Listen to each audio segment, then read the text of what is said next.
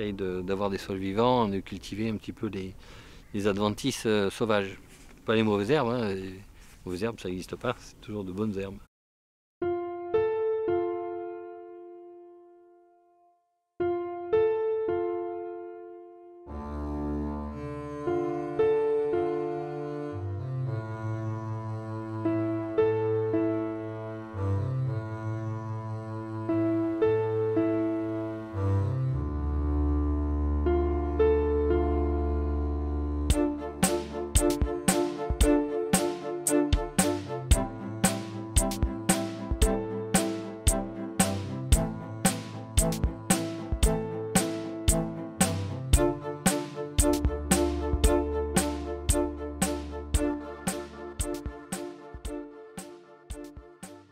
Donc là, on est sur une toute petite propriété qui fait 9 euh, hectares de vignes, hum, qui euh, en fait euh, doit ses origines à la polyculture élevage.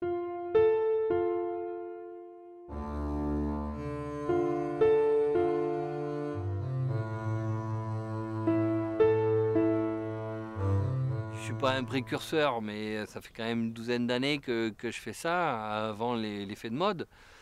Parce que j'étais sensibilisé de par ma nature, ma formation, puis mes rencontres, quoi. Euh, les vignerons bio avec qui j'ai sympathisé depuis déjà 15 ans, un truc comme ça, qui m'ont progressivement amené euh, et conscientisé. Euh, après, c'est le passage, c'est technique, c'est l'approche, comment je fais. Euh, voilà comment je fais? Et puis une fois qu'on est qu'on s'est lancé, ben, on découvre en, se faisant secouer, en prenant des claques ou en prenant du plaisir aussi. Euh, un, chez moi, c'est un peu une improvisation. Euh, et puis petit à petit, je m'y forme. Bah, je me fais accompagner. Hein. Moi, j'ai pas la science infuse. j'ai des techniciens qui m'aident pour le sol, qui m'aide euh, pour le travail de la vigne, qui m'aide sur le suivi euh, phytosanitaire. Voilà, je me suis formé plusieurs fois sur des stages. voilà, puis j'ai encore beaucoup de choses à apprendre et c'est ça qui, fait vibrer d'ailleurs.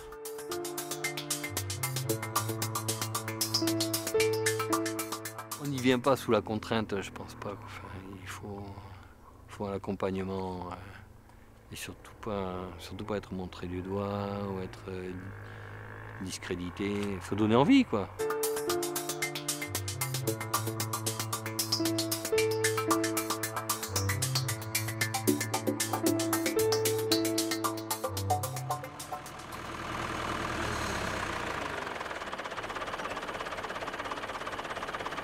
Là, je travaille avec euh, deux gros euh, rétroviseurs de part et d'autre qui reflète chaque extrémité de, de la machine. Et en fait, j'essaye de piloter par rapport à ça.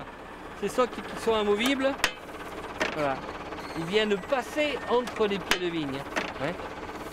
Les disques vont se planter, euh, planter dans la terre. Ils sont légèrement ouverts, donc ils vont freiner, freiner la machine. La machine va, s'enfoncer euh, dans, le sol va rester stable derrière le tracteur. Avec une possibilité quand même de, de, variation de, mouvement de, gauche à droite. Donc ça, ça permet aussi de poser la machine et de gérer l'enfoncement du socle.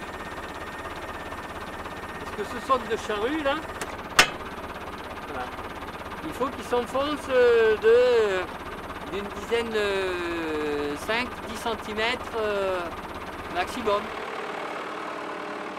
Ce qu'on fait là, c'est qu'on prépare un climat sain pour le pied. Quoi qu'il va se passer après, si euh, c'est propre au pied, qu'on n'a pas ce climat humide autour du pied, eh bien, on peut aborder toute la saison culturelle beaucoup plus euh, sereinement. Sur des années comme, euh, comme celle-là, où il n'a plus tout l'hiver, ben, dès que le sol est un petit peu ressuyé, malgré que ce soit pas terrible, euh, hop, on attaque, faut surtout pas perdre de temps.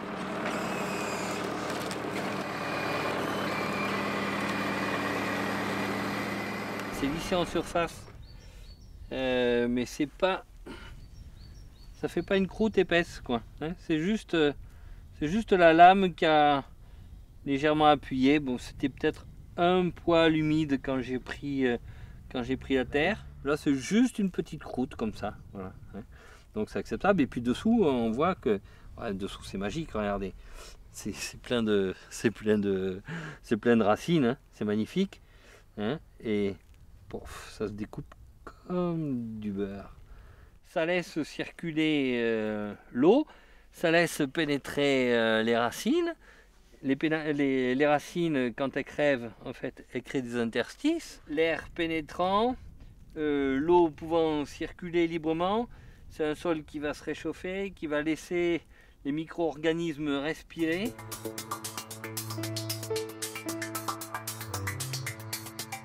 On l'a mise euh, dans le rang. Les prochaines pluies vont tasser cette terre. hein, la structure va se défaire. Voilà, ça va s'écraser un peu. Et puis la prochaine fois, avec un autre outil, on reprendra de la terre quand, l'herbe sera morte et, euh, euh, et transformée. Pendant toute l'année, c'est un transport de terre qu'on fait. Un coup, on vire la terre quand elle porte de l'herbe. L'herbe va se développer là. Et on, l'étouffera avec de la terre. Le boulot est pas mal là. Après, c'est jamais les conditions idéales, hein, mais moi ça me convient.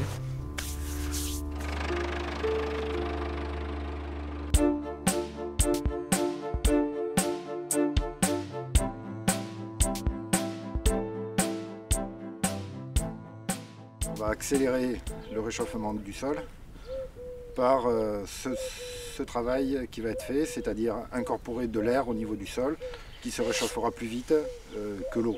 Voilà, améliorer euh, le séchage et le ressuyage. Indépendamment de la vie du sol, on a quand même la présence argileuse qui fait que la structure se fragmente beaucoup plus facilement et on préserve quand même l'aspect moteux. Donc la présence de vie du sol, c'est pas que les habitants hein. en vigne, c'est aussi euh, les traces des habitants et toutes euh, ces galeries là qui permettent euh, un travail du sol et une aération du sol beaucoup plus efficace que la mécanisation. Bon, c'est assez favorable, je trouve, cette année. Après l'hiver qu'on a eu, euh,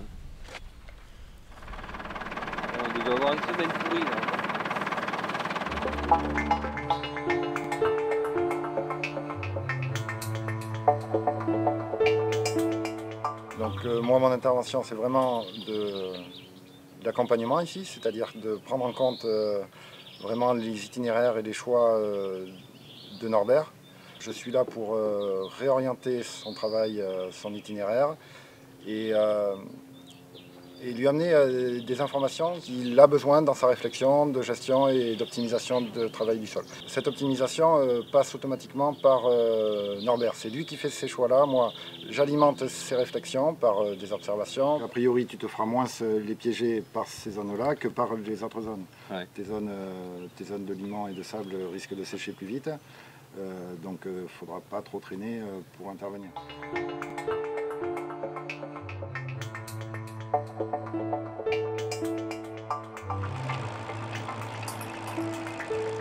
herse va repousser la terre vers le pied de vigne.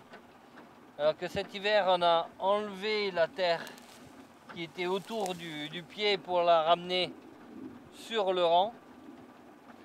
Voilà, là, euh, la herse éclate les, les mottes et repousse légèrement.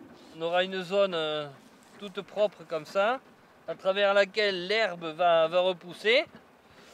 Et à ce moment-là, on reviendra avec euh, les lames des cavaillonneuses et on reprendra de la terre.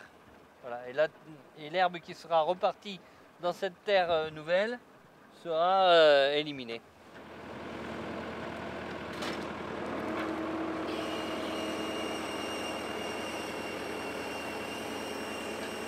Il y a toujours un dévers, euh, une histoire d'être au milieu, euh, plus proche d'un côté que de l'autre. Mais bon, la, la machine n'est pas bien réglée. Là. Elle pénètre euh, trop profondément. Par contre, on voit la, la qualité de la terre, c'est superbe ça. C'est la terre grêle. Il faut élargir et aller moins profond. Il faut sortir, sortir la terre entre les pieds. Quoi.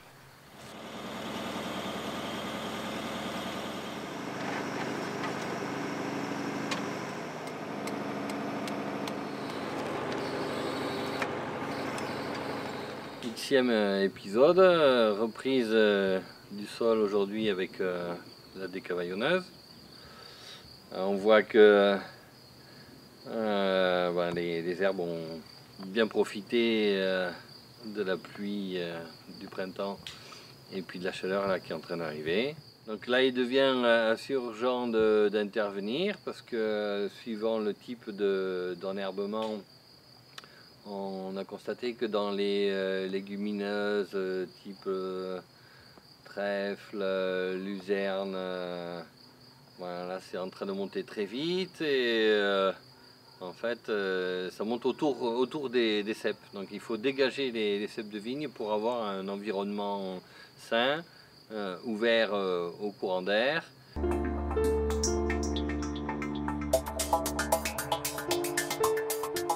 Le 25 juin et euh, le travail qui est opéré aujourd'hui, c'est la tonte.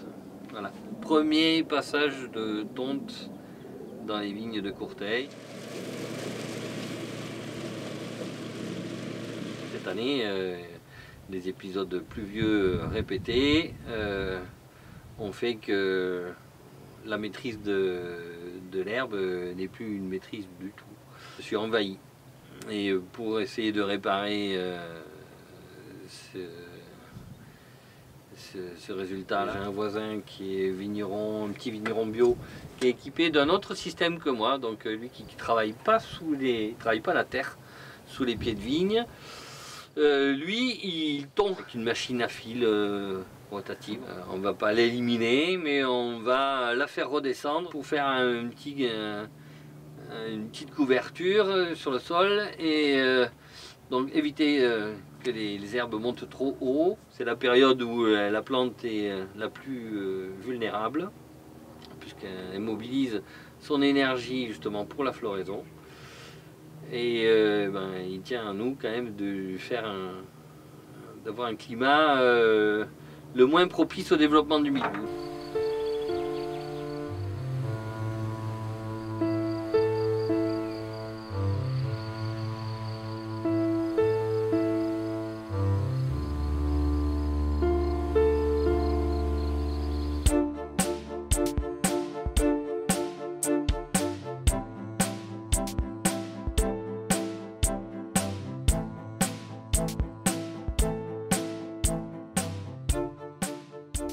C'est quand même de, casser juste sur les, euh, premiers centimètres. Hein. Il y a trop d'herbe, il faudrait que ça soit euh, peut-être euh, tondu avant.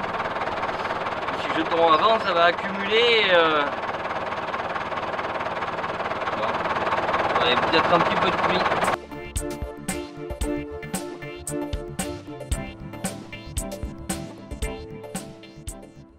L'accompagne euh, tout au long de l'année en fonction de ses besoins euh, dans sa prise de décision. Un des principaux travaux du vigneron, c'est effectivement de garder son sol vivant, dynamique, avec une vie bactérienne intense, qui permette une bonne assimilation minérale par la vigne. Et ça, c'est la base de la bonne santé de la vigne. Il y a un mot qui est très rattaché au vin, au vigneron, à la vigne, c'est le terroir. Et le terroir, en fait, c'est quoi? C'est l'adéquation de la plante sur son sol euh, avec un climat et les pratiques du vigneron. Mais euh, dans le terroir, c'est la principale composante, c'est le sol. Et ce qui va faire que le vin d'ici, le vin de Norbert à Courteil, ne sera pas celui de son voisin euh, juste à ne serait-ce que 10 km, ça va être son sol et les pratiques de Norbert pour valoriser ce sol à travers sa vigne.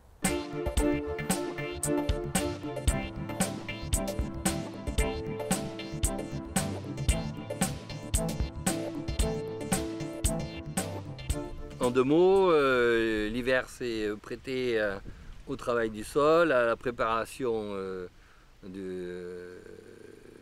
travail. fin d'hiver, parfait. début de printemps, ça a été chaud. Et ensuite, ben, la climatologie pluviométrie euh, très abondante euh, a rendu très délicat l'itinéraire technique. Si la pluviométrie maintenant, parce que trop de pluviométrie au printemps, euh, super sécheresse en été, notamment au mois d'août, qui a, qui a interdit de revenir décavaillonner. Peut-être s'il pleut un petit peu, s'il y a de la fraîcheur, revenir essayer d'avaler un petit peu d'herbe. Et puis euh, ben, euh, un semis, euh, donc un enherbement qu'on va essayer de contrôler entre guillemets cette année. On va faire un petit semis de céréales puisque je dispose de, de 300 kg de, blé sur des vieilles variétés. En fait, le résumé de l'année culturelle, c'est ça. Le moment propice, c'est tout de suite maintenant où on passe des fois à côté. Voilà faut forcer la chose un peu. Si tu n'aimes pas te faire taquiner, voilà, tu maîtrises rien en fait. Voilà, tu essayes de jongler euh, avec des choses que tu maîtrises pas. Euh... ça me plaît, oui. Il n'y a que ça qui est bon d'ailleurs.